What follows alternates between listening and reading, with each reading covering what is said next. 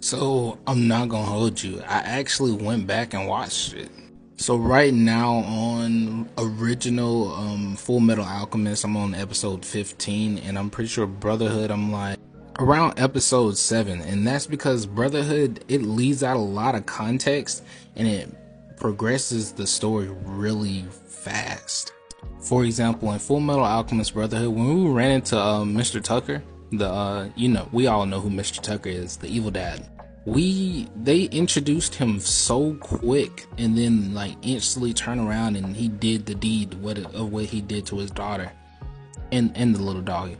But in Full Metal Alchemist, you honestly get the full breakdown of like how, how, much time they actually spent with Mr. Tucker and like how they drew, grew attached to the daughter from playing with her and then promising to play. I, I just feel like Full Metal Alchemist, the original, is a lot more detailed and like explaining things. And I fuck with shit like that.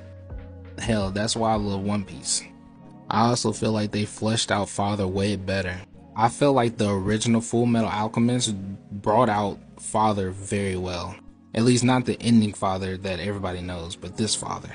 I should also let you know that I'm not attacking you, bro. I'm just more so explaining what my thoughts are so far through like watching both of them side by side. But yeah, I don't, I really don't understand what it is. I feel like it's like the actors. I, I don't know. I'm just more driven towards the the Full Metal Alchemist rather than the Full Metal Alchemist Brotherhood. But the last thing I noticed was how they introduced Alex Louise Armstrong. In the Brotherhood version, they go through like a, a cool, a semi cool introduction, right?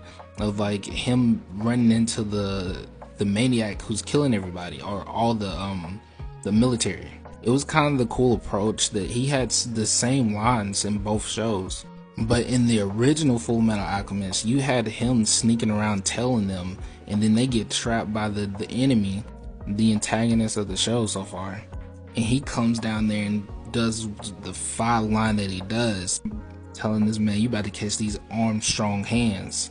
He basically said these hands are rated E for everybody and they're passed down through my bloodline. But yeah, that's all I got to say about it so far. Um, I'm gonna keep y'all posted on what I think from like the next few arcs because it's starting to like split off to me.